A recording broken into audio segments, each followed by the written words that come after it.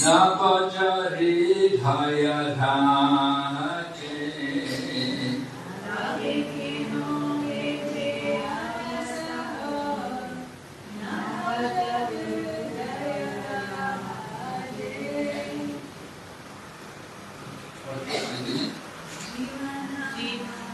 Jivana anicca channa ta tahena na vidabha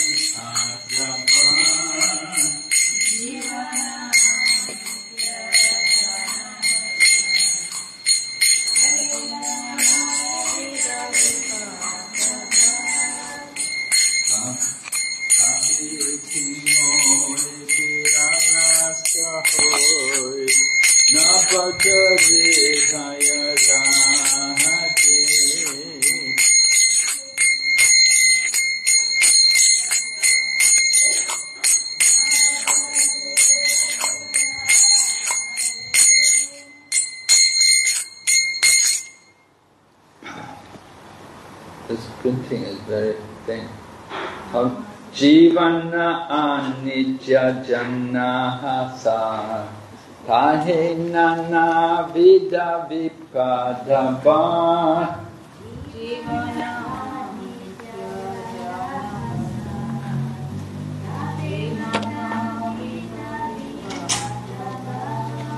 Namashraya kori yatani tumi taka apanaka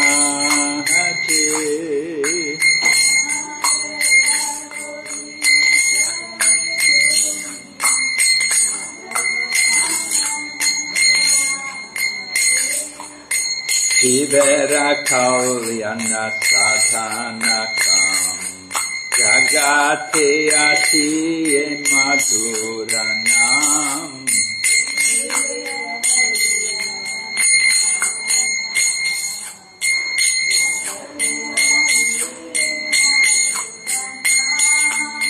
अविद्यति मेरथापानरूपे ऋगगणे যাহাছে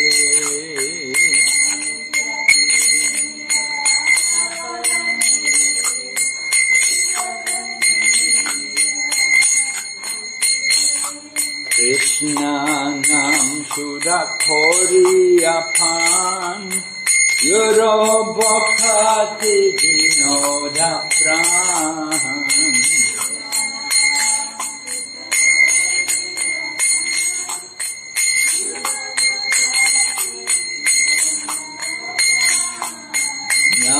बिना किचु नहीं कुआरा सोड भूवन महती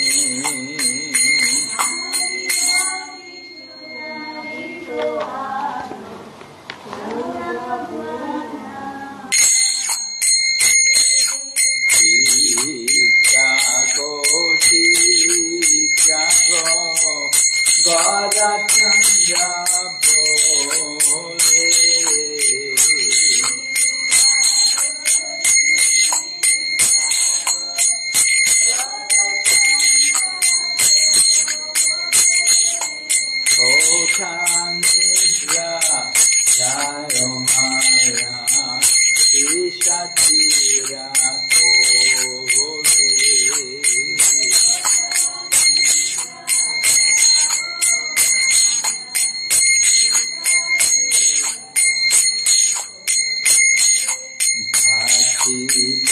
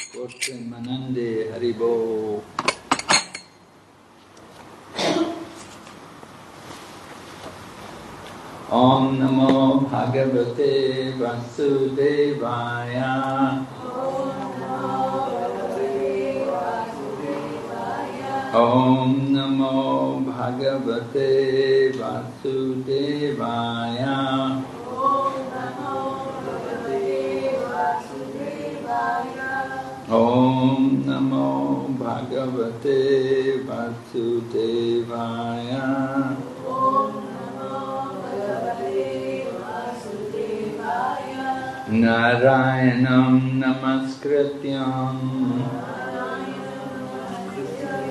नरं चैव नरोत्तमम्। सरस्वती सरस्वतीं व्यासं ततो जयमुदीरयत्। नस्तप्रयेषु भद्रेषु Nityam Bhagavata Sevaya. Bhagavati Tamasloke. Bhakti Bhavati Naistaki We're reading Srimad Bhagavatam, Canto 6, chapter number 16, entitled Maharaj Chitraketu Meets the, the Supreme Lord. Text number, who knows what text number it is? Is it 8? Yesterday was 7? Yesterday was eight. Maharaj did Maharaj did 8 yesterday. Okay, so text number 9.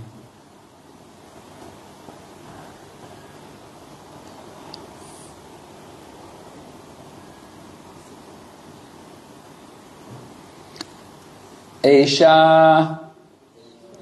नित्यो अवयाय अवया। सुकृष्ण। एषा सर्वश्रया। स्वदृक्।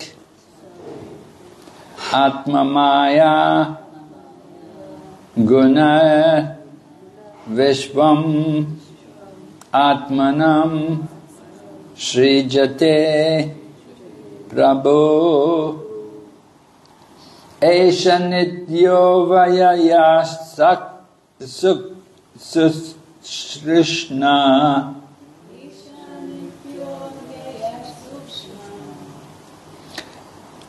एष नित्यो वयया सुकृष्णा।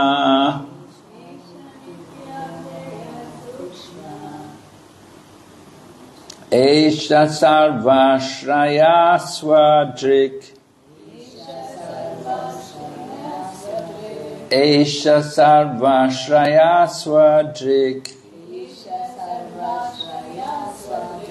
Atma Maya Guner Vishwam.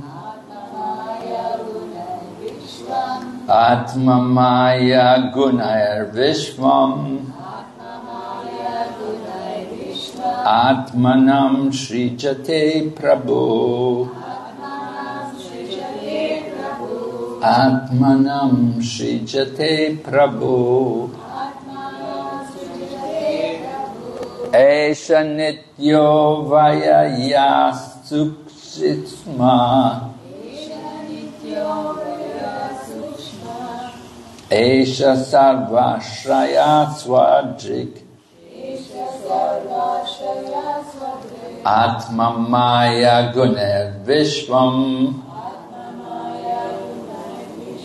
Atmanam Srijate Prabhu. Esha Nityo Vayaya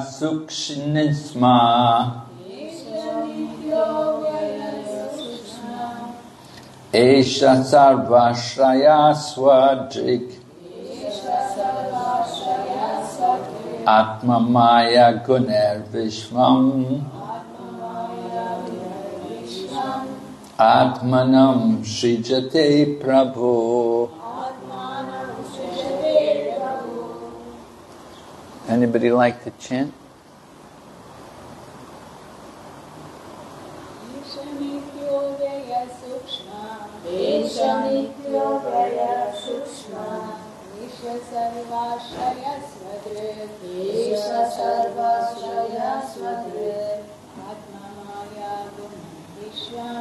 आत्ममाया विश्वम् आत्मानं सृजते आत्मानं सृजते प्रभु एषा नित्योऽव्यया सूक्ष्मा एषा नित्यो अव्यया सूक्ष्मा एषा सर्वश्रया स्वदृक् एष सर्वाश्रया स्वदृक् आत्ममाया गुणैर्विश्वम् आत्ममाया गुणैर्विश्वम् आत्मनः सृजते प्रभु आत्मानं सृजते प्रभु एषा सूक्ष्मा एष नित्यो भया सूक्ष्मा एषा सर्वश्रया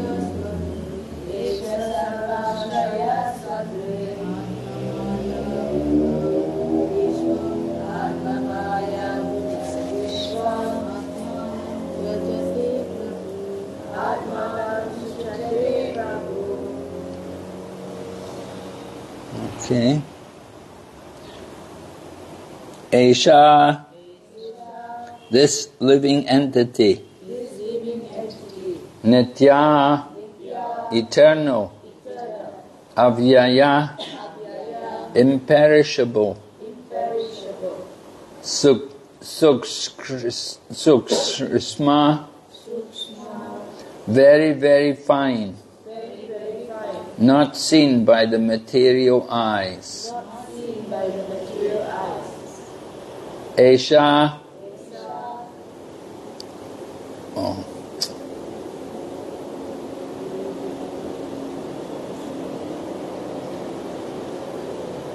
This living entity, Sarva Ashraya, the cause of different types of bodies. Swadrik, self-effulgent. Atma Maya Gunaya, by the Supreme Personality of Godhead's modes of material nature.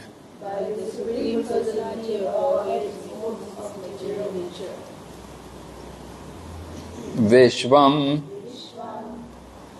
this material world, Atmanam, himself, Srijate, appears. Prabhu, the Master. Translation The living entity is eternal and imperishable, because he actually has no beginning and no end. He never takes birth or dies.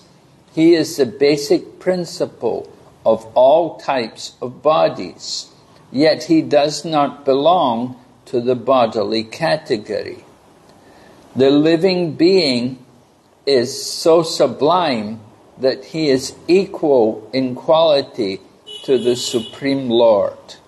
Nonetheless, because he is extremely small, he is prone to be illusioned by the external energy. And thus, he creates various bodies for himself according to his different desires.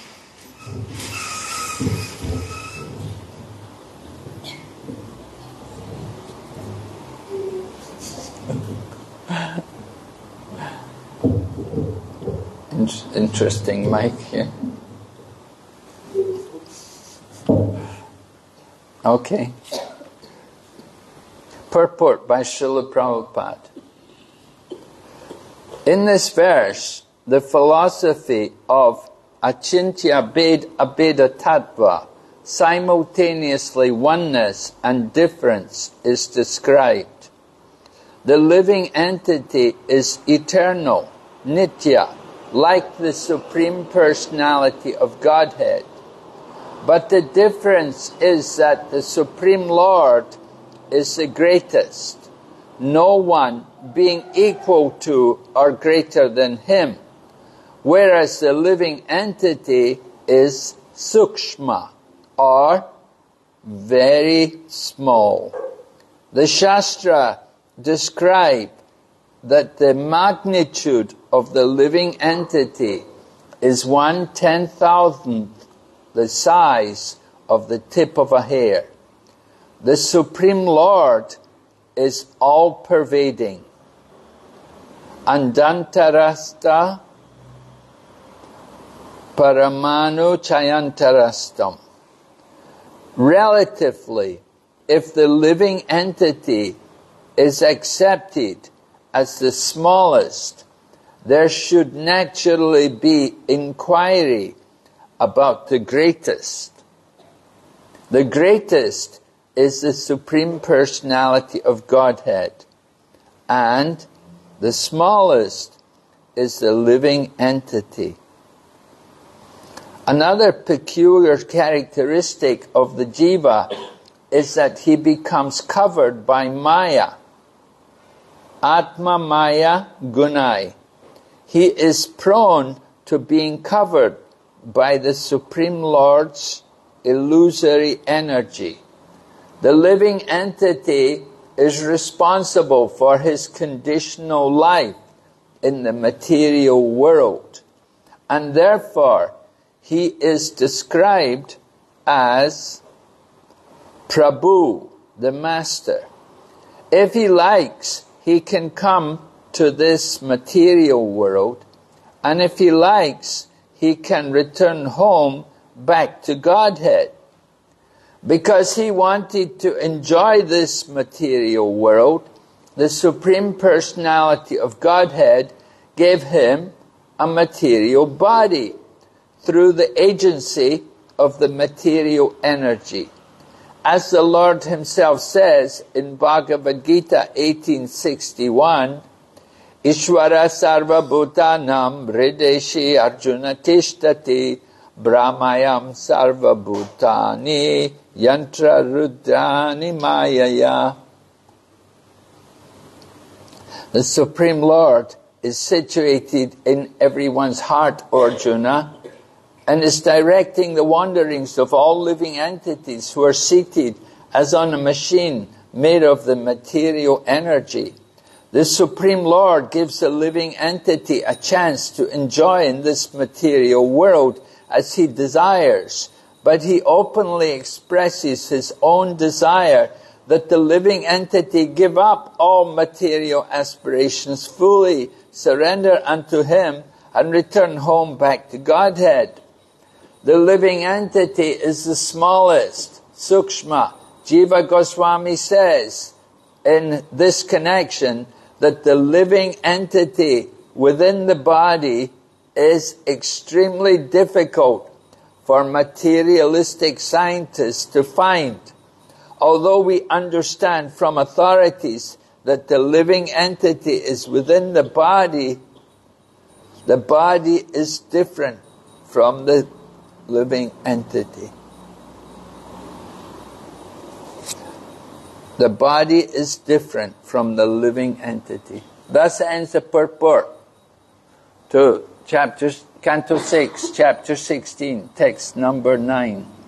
Om Jnanatimarandasya Jnananjana Salakaya Chaksurunmilitanyena Tasmai Shri Gurave Namaha Panchakalpatarubhyascha Kripa Sindhu Bhaevacha Patitanam Pavanebhyo Vaishnavibhyo Namo Namaha Jai Shri Krishna Chaitanya Prabhu Nityananda Shri Advaita Gadadhar Shri Vasade Gaur Bhaktavinda.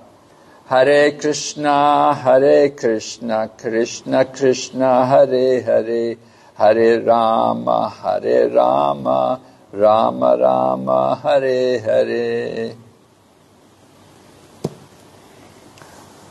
We're hearing the dead child of Chitraketu Maharaj who has come back to life by the mystic power of Narada Muni. So by the mystic power of Narada Muni, this child who had left the body came back, got up and began to speak all of this uh, knowledge, spiritual knowledge, transcendental knowledge, giving knowledge about the nature of the soul and how the soul is different from the body. Chitraketu Maharaj was lamenting the death of his son. His son died when still a child, and Maharaj Chitraketu was very attached to his son. Was with great effort that he finally got a son. So he was overjoyed when his wife gave birth to a son. But when the son died, it devastated him. It broke his heart. He was totally helpless. But some, by the will of providence, Narada Muni came there, and Narada Muni brought the child back to life, and the child is speaking all of these words just to put Maharaj Chitraketu into the to give him the right understanding about what is actually happening. The child leaving the body is just a change of body. As described here, the soul never dies. The living entity is the soul. And for the soul, there is no birth and there is no death. Najayate mriyate va kadachin nayam budva bhavitava nabuya ajo nityam shasvato yam purano na na na nahanyate hanyamane sharire for the soul there is no birth and there is no death not having once been does he ever cease to be he is unborn eternal ever existing and prime evil. He is not slain when the body is slain. Lord Krishna spoke these words to Arjuna in order to encourage Arjuna in taking part in the battle of Kurukshetra. Arjuna was worried about killing people, but Lord Krishna explained to him, you don't kill anyone. The soul the living entities are all eternal. Just as this child is speaking here today in this verse to Maharaj Chitraketu, he's saying the living entities don't die. The bodies die. We change the body. We give up one body, we take another body. just like we change the dress. Vachamsi jirnani yata vihaya navani grinati naroparani tata sharirani vihaya jirnani anyani samyati navani dehi. Just as we give up the old dress, you take a new dress. In the same way, we give up the old or diseased body, we will take a new body. So there's nothing to be lamented, right? Just like when you get a new car, you give up the old car, you get the new car. Nobody laments, right? We're joyful. I've got a new car. I got rid of that old car. All the same. We should think the same about the material body. We get rid of the old body. We get a new body. There's no reason to lament. You should be joyful. You get a new body. So, Prabhupada said, this is the philosophy of Achintya Bheda Abheda Tattva that everything is inconceivably, simultaneously one and different. One and different. The living entity is one with the Supreme Lord, but at the same time he is different from the Supreme Lord. One in the sense that the, both the living entity and the Supreme Lord are spirit. They are Brahman, the particle of Brahman, they're spirit. They're not material.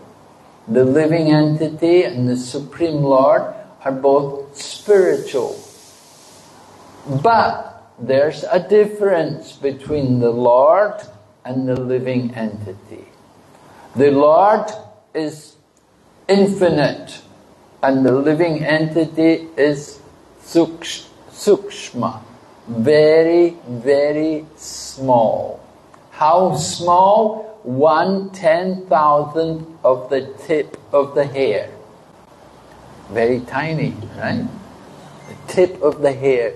Not just the hair, but the tip of the hair, the very tip of the And then one ten thousandth of that. So very minute. That is our position as spiritual entities. We are very small. And another difference between us and the Lord is that we become covered. The Lord is never covered, but we become covered by Maya, by the illusory energy. And this is the problem for the living entity. This is what keeps the living entity in material life, taking birth again and again. Because it becomes covered by the illusion. The illusion that, the illusion that he is the body, that we think ourselves to be the body. We're thinking, I am this body, this is me. We look in the mirror, this is me. We don't see the real self. We don't see the soul. So in this way, the living entity is one with the Lord, but at the same time, he is different from the Lord. And this, this understanding, this is also described in the Bhagavad Gita. Lord Krishna said, Mami Vamsa Jiva Loke Jiva Bhuta Sanatana. That the living entities are my parts and parcels. The, but due to material nature, they're struggling very hard with the senses, including the mind. So the living entity is part of the Lord and parcel, but one in quality, different in quantity just like the drop of water and the ocean. The drop of water has all the qualities of the water in the ocean, but different in quantity. So in the same way, the living entity has this position of being one with the Lord, but at the same time different. Another example is given the spark and the fire. When there's a fire, you get some spark also coming from the fire.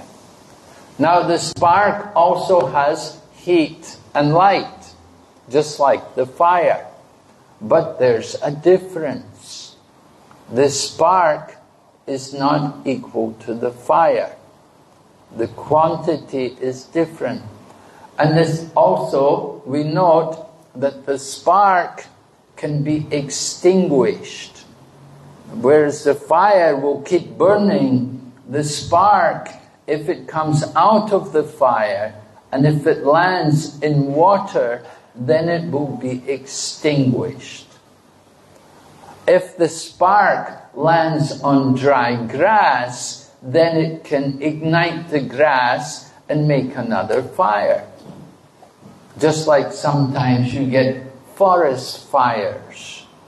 And who created the fire? Nobody. Just nature. Just the rubbing of bamboo.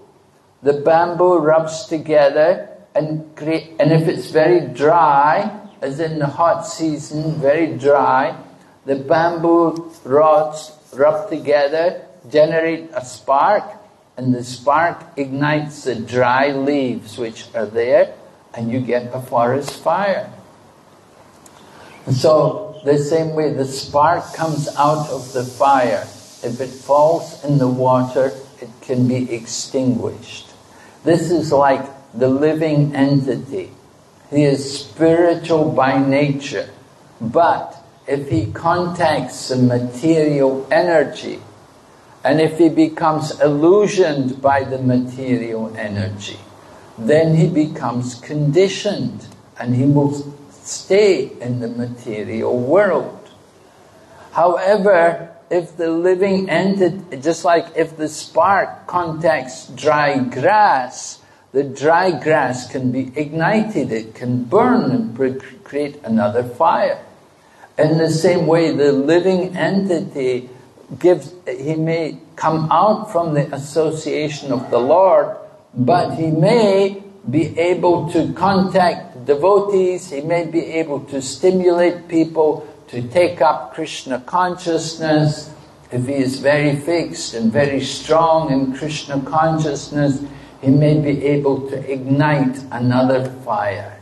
He may be able to encourage other people to take up spiritual life. So, uh, different conditions for different living entities. Some living entities are nitya baddha, and other living entities may be nitya siddha. Nitya baddha means eternally conditioned, that there's in the material world, they're conditioned to think they're the body. And the nitya siddhas they understand themselves as a spiritual being, as an eternal soul, part and parcel of the Supreme Lord. And they will be engaged in the eternal service of the Lord.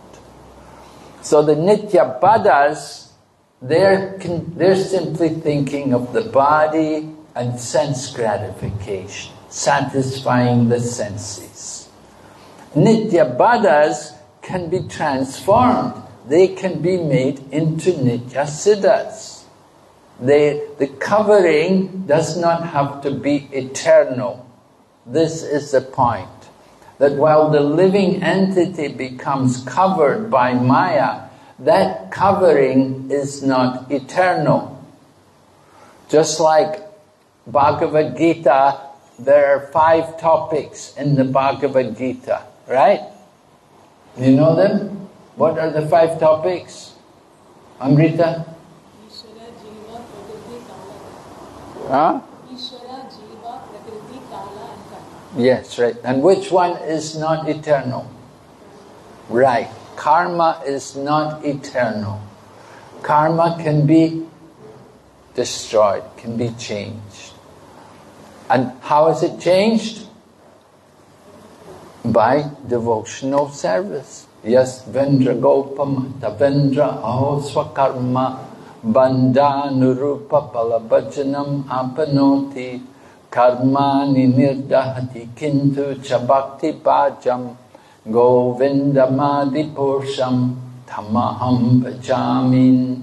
Lord Brahma tells us, I worship Govinda, the primeval Lord, who burns up to the root all fruitive activities of those who are imbued with devotion and impartially ordains for each the due enjoyment of the fruits of their activities, no less in the case of Lord Brahma than in the case of the Indragopa, the tiniest germ. Lord Brahma, way up in the top of the universe, the Indragopa, a tiny, insignificant living entity. But they're all under the control of their karma. Lord Brahma is enjoying or suffering his karma, and the Indragopa is also enjoying or suffering his karma. But that karma can all be removed, just like the fire can burn up all the weeds and root everything. So the same way all of one's karmic reactions can be burned up. It's that devotional service is like a blazing fire which can burn up to the roots all fruitive activities, all the karma. Of course, you have to do devotional service like a blazing fire. You cannot just be uh, haphazard and casual about it. We must be very fixed in our devotional service. Then you get the real result of devotional service. Vaya vasayatmika buddhi ekeha kurunandana bahushakahi anantascha buddhayo vaya vasayam. Those who are on this path are resolute and determination and their aim is one, O Arjuna. The intelligence of those who are irresolute is many branched. So, different kinds of moods are there. You see, if we're very resolute and determined in our, in other words, vaya vasayatmika buddhi, that kind of devotion, very fixed and focused on what we're trying to do, then that devotional service is like a blazing fire and it burns up all the karmic reactions from the past. But if we take it very casual, I know a little bhakti here and a little deva seva here, and we'll go to Tikali and we'll worship Durga, good Durga Puja's coming, and uh, you know, and a bit here and a bit there, this God and that God. We're not very focused. Well, Krishna, yeah, yeah, I love Krishna, but you know, I also like Ganesh, you know, and Lord Shiva's cool, you know. We have these different moods, so that's Bahushaka, Yanantasya. Not focused. So, many brands, you don't get the, the, the same effect. So the point is devotional service has to be pure. It has to be Shuddha Bhakta. It has to be, as Rupa Goswami describes, pure devotion. Anya Abhilasita Sunyam.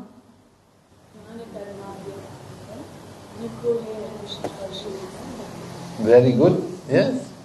You're a Bhakti Shastri graduate, must be, right? Yes? Very good. You know the verses. So, Rupa Goswami describes pure devotion must be without fruitive desires or philosophical speculation. It must be performed simply for the pleasure of Krishna. And it must be continuous also. Savai pumsam parodharmo yato bhaktir adhokshaje ahaitaki apratihata yayatma suprasidati. devotional service is described in Srimad Bhagavatam, just like Rupa Goswami described it. In Srimad Bhagavatam, Suta Goswami is saying, the supreme occupation for all humanity to attain is loving service to the Supreme Lord. Such service must be unmotivated and uninterrupted to completely satisfy the self. So that mood has to be there. That unmotivated. Material life, we're very motivated. What motivates us? Well, money. You know, we want money. We get very motivated to make money. And there's many other things motivate us, you know. Sometimes Kirtan Mela motivates a lot of people. Kirtan Mela, a lot of people like to go to Mayapur, Kirtan Mela.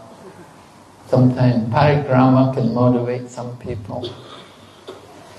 Going to holy dhams sometimes motivates people. Festivals help to motivate people. Rath Yatra, we just had Rath Yatra there was a lot of energy, there was a lot of enthusiasm. People we never saw before, hardly ever see. Somehow they all appear and they're there and they're enthusiastic, chanting and dancing. So very nice. Different things generate in that kind of enthusiasm, which is necessary for devotional service. So we want to understand that the living entity is one and at the same time different from the Lord. We have to connect to the Supreme Lord. When we connect to the Lord, then we become secure. The, the process is therefore bhakti yoga. Yoga connect, connects us to the Supreme Lord. Right? Yoga, like the word yoke, yoke the horses to the cart. So yoga is linking the, the soul, the living entity, the tiny living entity to the Supreme Lord. And we do this through the process of Bhakti Yoga, which is based on hearing and chanting, or Shravanam and Kirtan, the roots of the creeper of devotion.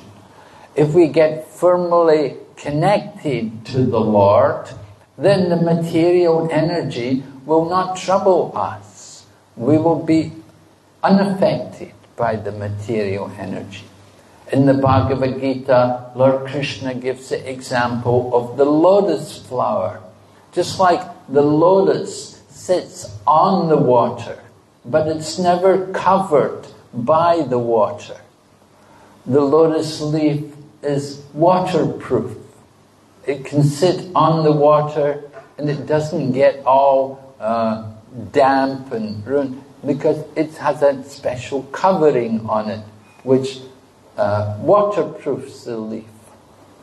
So the same way, the living entity, if we are connected closely to the Lord through His devotional service, we will not be affected by the material energy. Mam chayo vaya vicharina bhakti yogena sevati. Sagunam samatitaitam brahma bhuyaya. That one who is engaged in my devotional service without falling down, then they come to the level of Brahman and the, they transcend the modes of the material nature. So the li as living entities, we have to understand how dependent we are on the Lord. Just like the hand is de dependent on the body. When the hand is disconnected from the body, it is useless. You cut off the hand, it's no use, it's horrible. One, one devotee I know, he, he's a doctor, and he told me one day they had to amputate someone's leg. And he, he, said, he said when they amputated the leg, it was just horrible. They, and the, the immediate reaction was, get this out of here. You know, just a horrible leg, you know. But when the leg is connected to the body, it's very valuable, very important. So in the same way, the living entity, when we're connected to the Lord, then we can manifest the good qualities of the living entity. But when we're disconnected from the Lord, then we fall under the influence of the material energy and we exhibit all the bad qualities of the conditioned soul. We become under the spell of lust and anger and greed and illusion and madness and envy. These different things are all exhibited because we're not connected to Krishna anymore. But when we are connected to Krishna, then naturally we will develop all the good qualities. Yashyasti bhaktir bhagavati akinchana sarvair gunais tatra samase suraha harava bhaktasya kato mahadgana manoretain asati bhavato bahi. One who is a devotee will have all the good qualities of the Lord because is engaged in the service of the Lord, all the demigods will bestow their blessings on him. But one who is not a devotee has no good qualities, even though he may be very expert in maintaining his family members, or he may be very expert in the mystic yoga process. But if he is not a devotee, then it's understood he's under the material nature. Sometimes he will be good, sometimes he will be bad. He's under the spell of the material energy. And it means sometimes good, sometimes passion, sometimes ignorance. There's always a competition between the modes of nature. One has to learn how to overcome the material nature and of course, we overcome the material nature by taking shelter of the controller of the material nature, none other than the personality of Godhead, Lord Sri Krishna. So in this way we understand the oneness and the difference between the Lord and the living entities. Are there any questions? Any comment? Yes, Gaurachandra Prabhu? Sometimes, in my life experience, sometimes a person, uh, like how Arjuna says,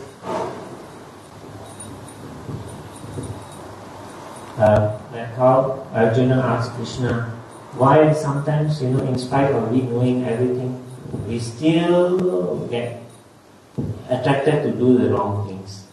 So in that also sometimes our mind is always very uh, uh, dangerous and we always have to keep on hearing, hearing and chanting so that at least our mind uh, comes under control. And I was just reflecting also, recently one doctor, he had a wife and a daughter. Indian Indian family.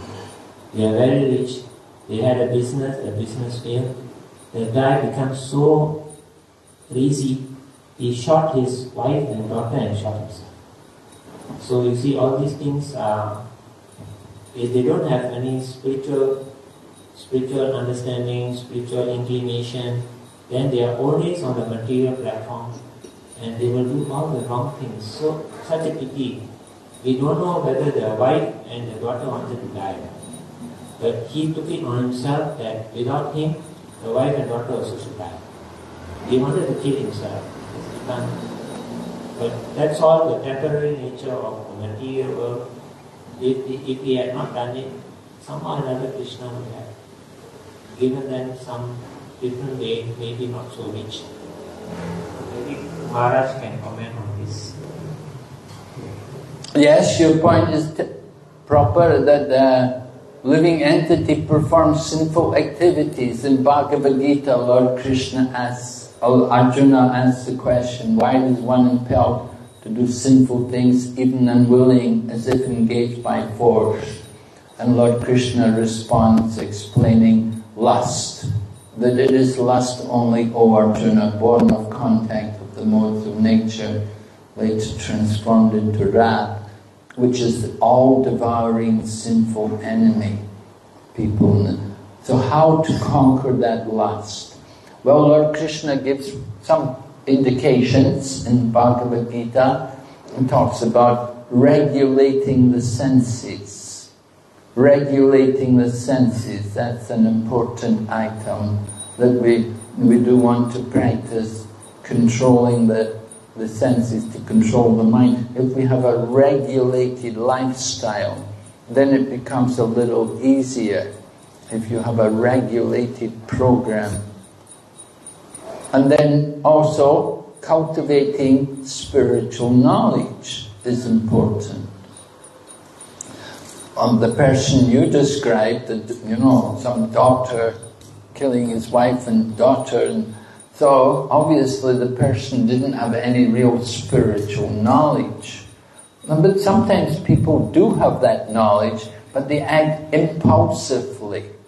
They do these kind of things without thinking of just impulsively sometimes they just in, on the you know without thinking they act in this manner. Well, last night we were talking about the discussion came up about suicide because we were talking about sati, how sati gave up her body. And so someone asked about suicide and so I said, well, it, it, often people do these things uh, without a lot of thought. But if they think about it more, then they'll, they'll be hesitant to do it. But when they impulsively act, then they do these kind of things. So this impulsive activities, this is the problem. Therefore, regulating the senses it prevents us from acting impulsively. If we are regulated in our activities, regulated in our eating and sleeping, and these activities, then certainly it helps us to control the mind and senses. And of course, again, also we need to hear, we need to cultivate spiritual knowledge. Because that knowledge will destroy the ignorance which is so strong in us. Yeah, we are conditioned souls. So people people often go through difficulties as you described, and then the doctor, what happened, lost his business or something? He, he had business, he's an Indian Indian person, and uh, he had a five million US dollar house, and then he did business, and the business failed, and he went for bankruptcy about last two years ago, 2022. Yeah, I think he keeps on in his mind. My, the daughter is 18 years old, going to college. See, then you, you kill yourself is one thing. You can kill your family members and you think it's a very nice hmm. very tragic. People do these things. So everyone needs association. We need, you know, someone in that kind of situation. He needed to have some kind of association, some guidance. People who go through these economic disasters, they have to understand that this is some kind of karmic reaction which is coming on them. Hmm. It's not eternal. Hmm. You lose a lot of money. You can be very rich one moment, you can have nothing the next moment. Hmm.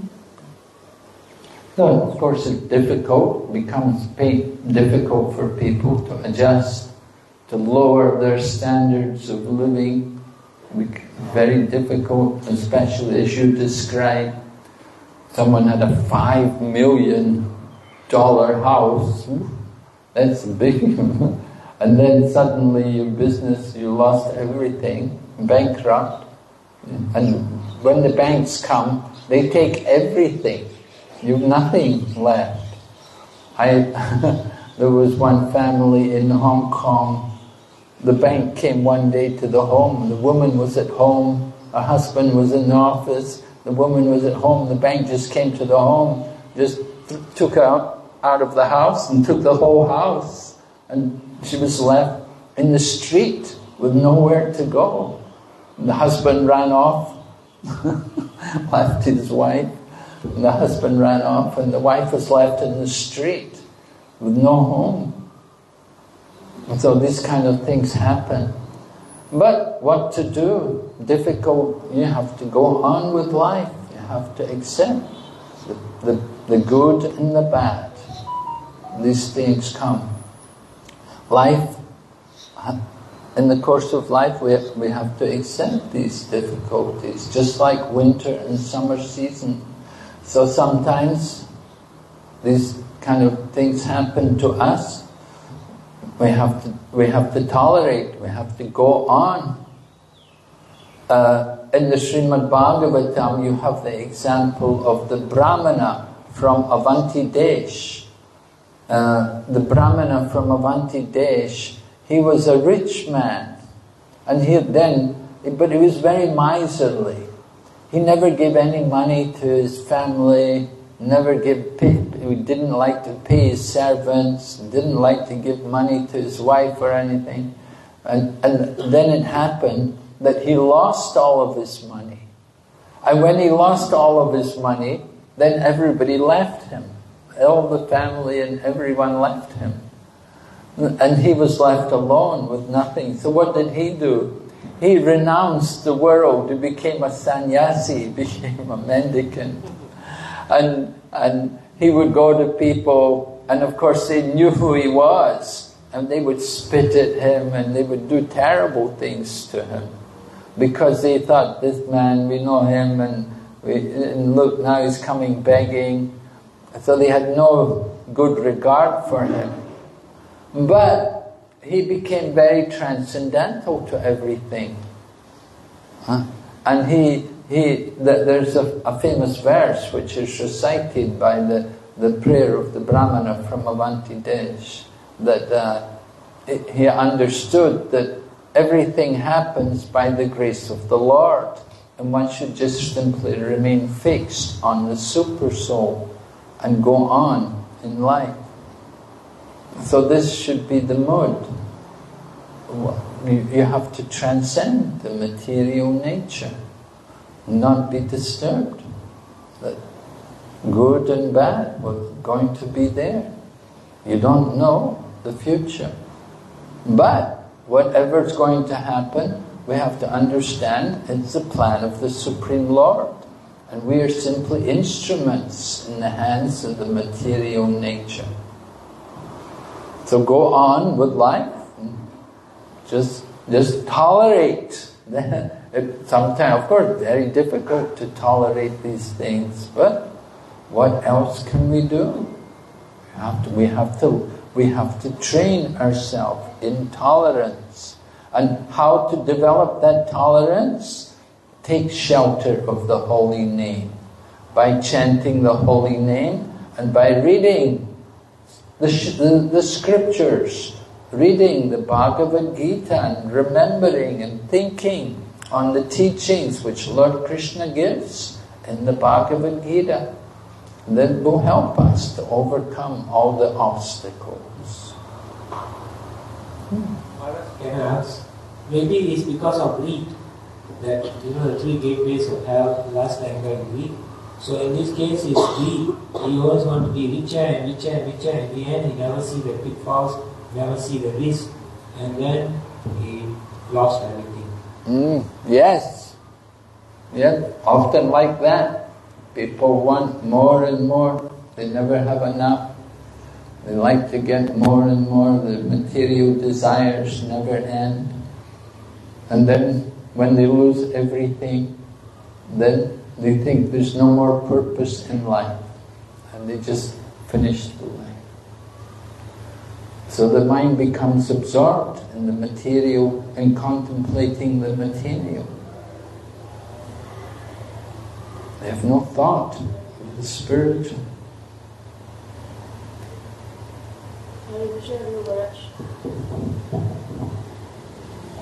Maharaj. My humble grievances. Um, when we pray to the deities on the altar, how, how do we pray to to remove this energy? To to to do we pray to Subharamani to say, you know, perhaps can you please uh, reduce the Maya energy that is covering us? Or do we pray to Srimati Radharani to engage with us in the service? Or shall we talk to Nityananda? Can you please accept me uh, in the service? How, how do we pray to reduce the energy of Maya? Yes, we, we should pray, and we can pray to the deities, as you mentioned. You can pray like that. We pray to the Lord, please engage me in your service. If you're engaged in the service of the Lord, then you cannot serve Maya. If you're fully engaged in Krishna's service, there's no room for Maya. Just like when you're in the light, there's no darkness. So stay in the light. Hmm? Go to the light. Don't stay in the dark. So that is Krishna consciousness. We pray to the Lord, please engage me in, our, in your service. The chanting of Hare Krishna is a prayer. When we chant the Maha Mantra, it's a prayer to Krishna. We're praying to Krishna. O Supreme Lord Krishna, O Supreme Lord Rama, please engage me in your service. So, the chanting of Hare Krishna is a prayer, and it's also the answer to our prayer. Because when we're praying, when we're chanting like that, then we're engaged in service. The prayer itself is service to Krishna. That is one of the types of devotional service. So, praying and chanting, this is the answer to our prayers. So we just have to keep chanting, keep praying. hmm. We, we, we can pray to the Lord that, uh, as like Lord Krishna prayed, in the Shikshashtakam, Lord Chaitanya teaches us that nadanam najanam nasundarim, I have no desire for wealth or followers or to enjoy material opulences. I simply want devotional service, birth after birth. So that is the nice mode that the devotee doesn't even ask for liberation, but he just says, birth after birth, please engage me in your service. And we can pray to the Lord, please, whatever happens, I may lose everything, I may have nothing, but may I always remember you. And just pray that I can always remember you at every moment. And when we leave this world also, we want to be able to remember the Lord. Right? So that's important. That, that memory of the Lord, to fix the mind on Him. So you can also pray to the Lord. I just pray that whatever happens, you may pick, you may handle me roughly, you may make me broken-hearted, but I just pray that somehow I can always remember you. Okay? Alright? Hare Krishna. Srila Prabhupada ki jai. Srimad Bhagavatam ki.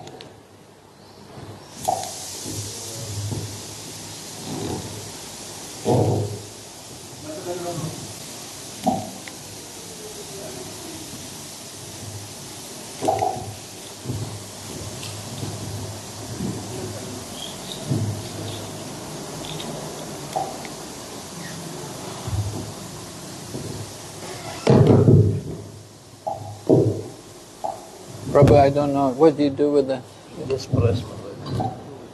Oh.